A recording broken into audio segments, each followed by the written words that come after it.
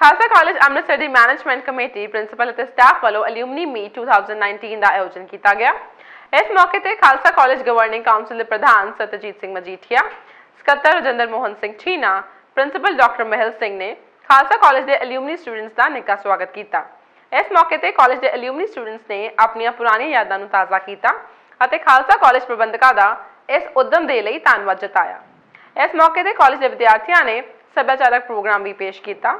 Professor Jagdish Singh Manjit Singh Pullar professor Mohan Singh Jasbir Singh Pullar ਸਮੇਤ ਕਈ alumni students ਨੇ ਸ਼ਿਰਕਤ ਦਿੱਤੀ। ਮੈਂ ਇੱਥੇ ਖਾਲਸਾ ਕਾਲਜ ਦੇ ਵਿੱਚ 1975 ਤੋਂ ਲੈ ਕੇ 1978 ਤੱਕ ਗ੍ਰੈਜੂਏਸ਼ਨ ਕੀਤੀ ਹੈ ਤੇ ਉਸ ਟਾਈਮ ਦੇ ਵਿੱਚ ਮੈਂ 400 ਮੀਟਰ ਹਰਡਲ ਕਰਦਾ ਸੀਗਾ ਔਰ ਖਾਲਸਾ ਕਾਲਜ ਵੱਲੋਂ ਯੂਨੀਵਰਸਿਟੀ ਦੇ ਵਿੱਚ ਬੈਸਟ ਐਥਲੀਟ ਬਣਿਆ ਔਰ ਯੂਨੀਵਰਸਿਟੀ ਵੱਲੋਂ ਆਲ ਇੰਡੀਆ ਇੰਟਰ ਯੂਨੀਵਰਸਿਟੀ ਵਿੱਚ ਚੈਂਪੀਅਨ ਬਣਿਆ ਔਰ ਖਾਲਸਾ ਕਾਲਜ ਦੀ ਟੀਮ ਯੂਨੀਵਰਸਿਟੀ ਵਿੱਚੋਂ 4 ਸਾਲ ਅਸੀਂ ਫਸਲ ਲਿਆਉਂਦੇ ਰਹੇ ਗਾ ਉਹ ਅੱਜ ਹੀ ਫਾਊਂਡੇਸ਼ਨ ਸਟੋਨ ਹੈਗਾ ਹੈ।